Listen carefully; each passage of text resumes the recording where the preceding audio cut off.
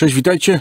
Dzisiaj weekendowo, tak? No mamy sobotę, godzinę prawie 15. Pora coś nagrać i żeby na weekend wrzucić, żebyście mieli co posłuchać. Właśnie za chwilę kończę robotę. A, jadę na jakiś, na jakiś obiad. E, A dzisiaj, dzisiaj tak na, na weekend, e, potomkowie Tempestus. Jak to wygląda dalej? Kontynuuję całą charakterystykę. Tak więc, jaką rolę spełniają potomkowie? No to właśnie, jaką rolę pod, po, spełniają? Potomkowie Tempestus są to tacy, wiecie, zimni, biegli wojownicy, którzy mają tak zabójczą siłę ognia, e, która redukuje wrogów do tlących się stosów trupków. Wyszkoleni w schola progenium, ci ludzie angażują się w rygorystyczny program indoktrynacji fizycznej i psychicznej, który podnosi ich do szczytu ludzkiej kondycji. Wierni aż po kres imperatorowi, potomkowie Tempestus dostarczają imperialnemu najwyższemu dowództwu mm, elastycznych, niezawodnych żołnierzy. Rozmieszczeni są oszczędnie, można na nich polegać w sprawie każdej misji, niezależnie od tego, jak bardzo jest ona śmiertelnie niebezpieczna. Wkraczają do akcji na pokładach transportowców opancerzonych lub opadając na spadochronach grawitacyjnych. Potomkowie są są ostrzem miecza Gwardii Imperialnej. Każdy oddział potomków Tempestus składa się z weteranów wyszkolonych i wyposażonych na najwyższym poziomie. Chronieni ciężkim pancerzem i wzmocnionymi ceramitowymi płytami, potomkowie posiadają wyrafinowaną paletę broni o dużej sile, która doskonale uzupełnia ich rolę szturmową, a ich dyscyplina jest na tyle wypracowana, że mogą kierować swoją zabójczą siłę ognia z absolutnie perfekcyjnym efektem. E, W przeciwieństwie do gwardzistów Astra Militarum, potomkowie wytrzymują brutalnie bezkompromisowy program treningowy, zapewniający, że tylko najbardziej wykwalifikowani i zdecydowani z nich kiedykolwiek zobaczą bitwę. Standardową bronią potomków Tempestus jest karabin laserowy Hotshot. Każdy z tych karabinów jest wyposażony w mocną zewnętrzną plecakową baterię, pozwalającą na penetrację grubszego pancerza niż produkowane seryjnie karabiny laserowe używane przez szeregowych gwardzistów. E, Rozmieszczeni przeciwko ciężko opancerzonej piechocie wroga, potomkowie Tempestus używają swojego uzbrojenia z zabójczą skutecznością. Dzięki silniejszemu promieniowi i ekstremalnej szybkostrzelności są one idealne do obalenia heretyckich kosmicznych Marines i obcych. Jak wygląda organizacja e, potomków Tempestus? E, Potomkowie tworzą wiele regimentów w ramach Militarum Tempestus, a każdy z nich jest jednostką stałą, otrzymującą stały napływ nowych rekrutów, żeby utrzymać ją w pełni, w pełni sił. Dzięki temu, że jego członkowie zostali zwerbowani z osieroconych wychowanków z Hola Progenium, każdy regiment składa się z żołnierzy, którzy pierwotnie wywodzili się z planet w całkowicie innej części imperium. Każdy regiment potomków jest większy niż większość innych jednostek Gwardii Imperialnej, wywodzących się z jednego świata. Jednak te ogromne siły nie walczą w jednym miejscu. Poszczególne kompanie czy bataliony są wysyłane do różnych stref wojny, a stamtąd mm, poszczególne oddziały szturmowe rozdzielane są między innymi pułkami Astra Militarum w danej strefie wojennej w zależności od potrzeb. Jednostka potomków Tempestus, przydzielona do strefy działań wojennych, stanowi trzon e, elitarnych oddziałów, którym powierza się wykonywanie ważnych misji wymagających większego szkolenia i inicjatywy niż posiadane przez przeciętnego gwardzistę imperium. Oddziały szturmowe, dowodzone przez podoficera zwanego, znanego jako e, Tempestor, są skuteczne w prowadzeniu szturmów na silnie ufortyfikowane pozycje, infiltrację za liniami wroga, zasiewając zamieszanie e, i panikę. Często są oni zrzucani w chaos pola walki z transportowców szturmowych Walkiria, a broń jest nagrzana od prowadzenia ognia, zanim jeszcze potomkowie e, dotrą na ziemię. W niektórych rzadkich przypadkach kilka oddziałów szturmowców zorganizuje, e, misję, zorganizuje się na misję, która ma być unicestwieniem jakiegoś tam wybranego celu, a, a nie przechwyceniem. Ta grupa mm, zadaniowa nosi nazwę, e, jest nazywana oddział uderzeniowy Tempestus. Regimenty, mm, do których e, zostały przydzielone oddziały potomków Tempestus, często odnoszą się do nienagannie oddanych i lepiej wyposażonych żołnierzy szturmowych z pewną dozą wrogości, odwołując się do nich mm, e, takimi przezwiskami jak chwalebni chłopcy i wielkie zabawkowe żołnierzyki. Jednak ta uraza nie jest niczym, dla, nie jest niczym wielkim dla samych potomków, wyszkoleni do wykonywania tajnych operacji i, i wyprowadzania błyskawicznych ataków, idą do walki pewni, że każdy ich czyn jest dla dobra imperium, e, wykonując swoje rozkazy z bezkompromisowym pragmatyzmem. Niezależnie od animozji i opinii przeciętnego gwardzisty nie można kwestionować skuteczności oddziałów szturmowych, a nawet najbardziej niechętny potomkom gwardzista dziękuję Bogu imperatorowi, gdy oddział szturmowy przechyla szale zwycięstwa na stronę imperium. Kilka e, typów regimentów e, Gwardii Imperialnej, powszechnie wykorzystujących e, potomków Tempestus jako część standardowej doktryny bitewnej, to, to między innymi Stalowy Legion Armagedonu, kadiańskie oddziały szturmowe wchodzą w skład e, Kasrkinów, Krigańskie Korpusy Śmierci, bojowe Jastrzębie e, Harakonu, Teraksjańska Gwardia, e, Tempestorzy Prime.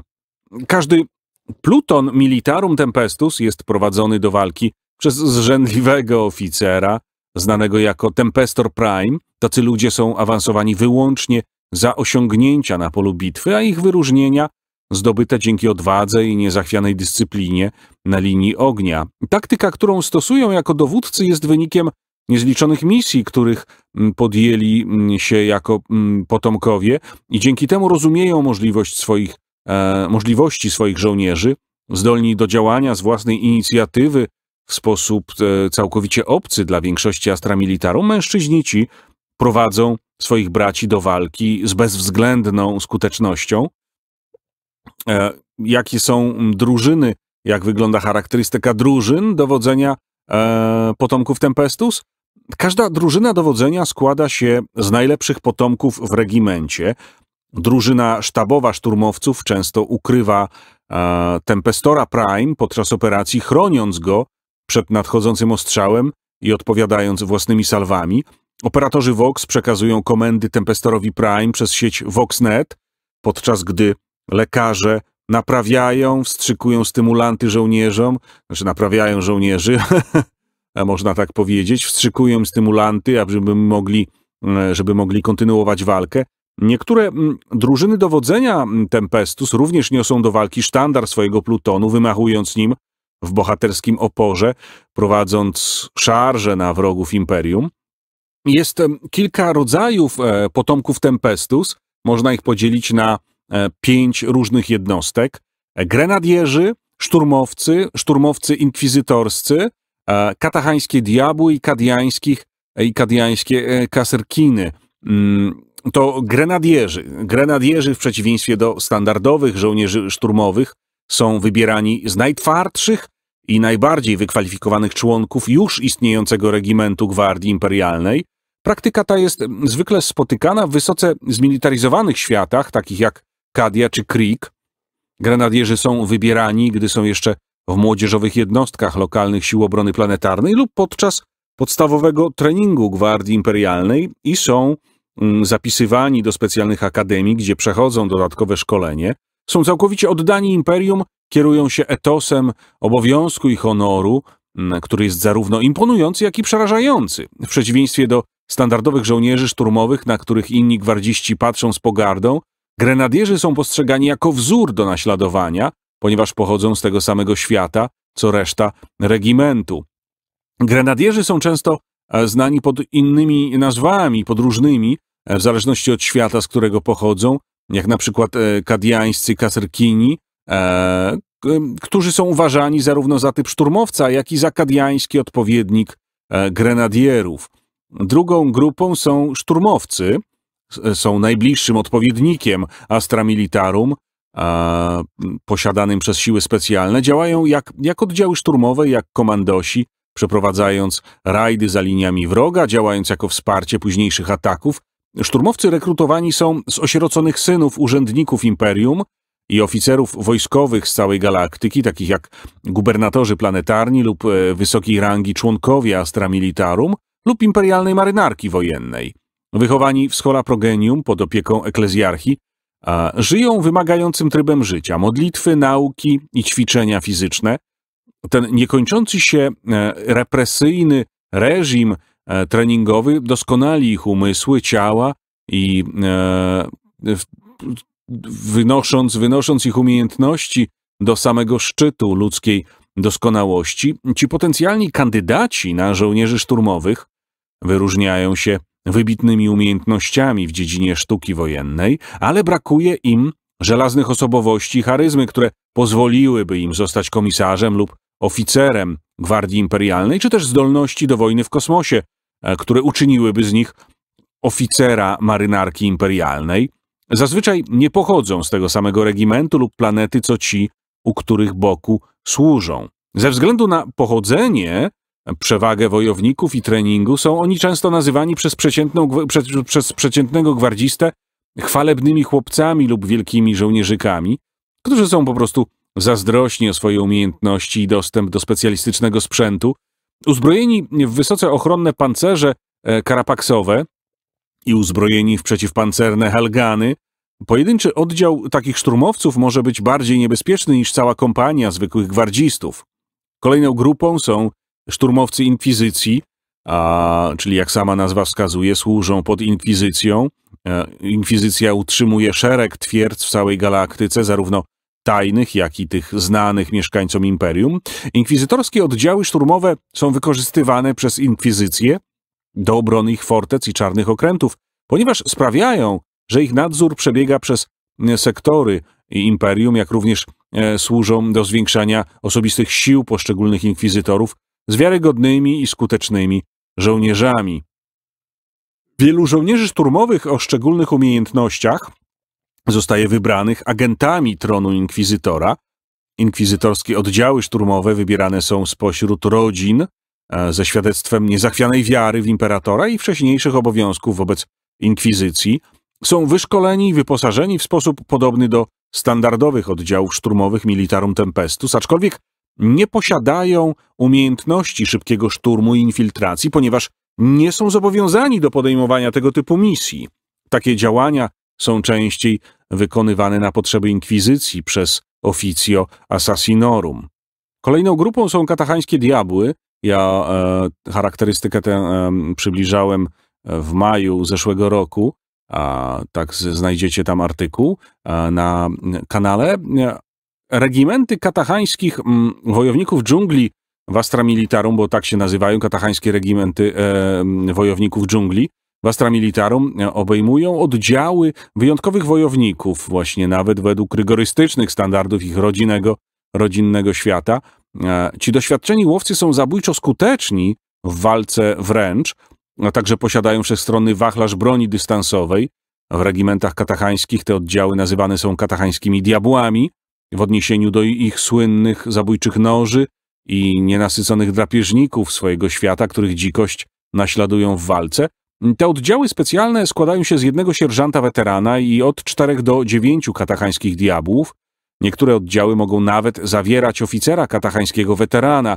Najbardziej znanym z tych zabójczych wojowników jest Sly Marbo, człowiek znany jako jednoosobowa armia. O nim również kiedyś wspominałem. Kolejną grupą są kaserkini, są elitą regimentów kadiańskich oddziałów szturmowych i częścią struktury Gwardii Imperialnej, dawniej poświęconej bezpieczeństwu świata, twierdzy Kadia. Ich nazwa pochodzi od, e, od nazwy silnie bronionej twierdzy miasta, czyli Kadia, której, e, które nazywano Kasrs w kadiańskim dialekcie niskiego gotyku. Jest to elita elit i tak już e, świetnych kadiańskich sił obrony planetarnej, i są oni rekrutowani w czasie, gdy jeszcze służą jako białe tarcze lub w kadiańskich siłach zbrojnych. E, ich szkolenie jest porównywalne, jeśli nie lepsze niż szkolenie standardowe potomków Tempestus, których są odpowiednikiem na Kadii. Są całkowicie oddani ochronie swojej planety, podczas gdy siły szturmowe są indoktrynowane, żeby poświęcić się obronie całego milenium.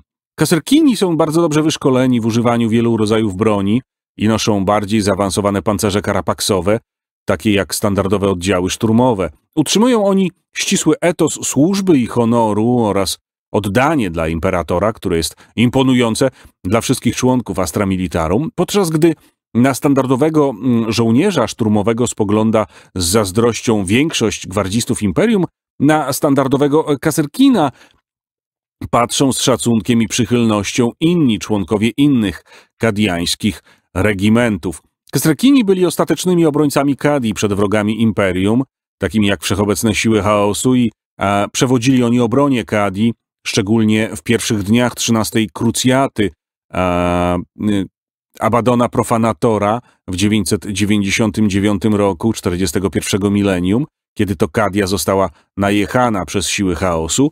Mm, być kaserkinem oznacza mm, szacunek i poważanie w społeczeństwie kadiańskim, a wszyscy Kadianie będą walczyć do końca, nawet po zniszczeniu ich ukochanej ojczyzny.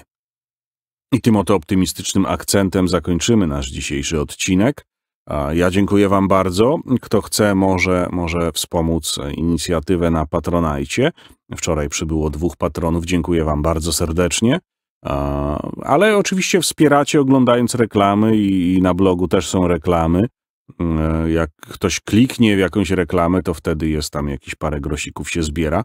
Na YouTubie wystarczy obejrzeć. Tak więc e, każdy, kto tam tak czyni, wspiera. Ja dziękuję Wam bardzo serdecznie za to.